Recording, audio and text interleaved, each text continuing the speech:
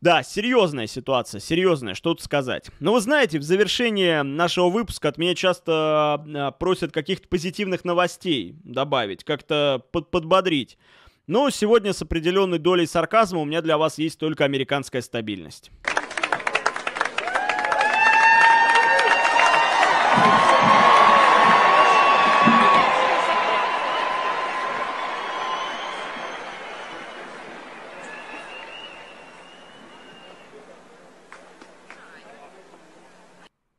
Неизменно господин Байден демонстрирует, что он просто лучший кандидат на должность президента США.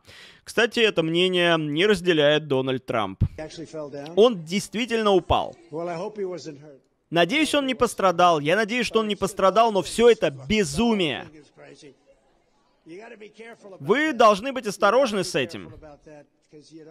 Потому что вы не хотите этого, даже если вам придется спускаться по трапу на цыпочках. Вы должны спускаться на цыпочках.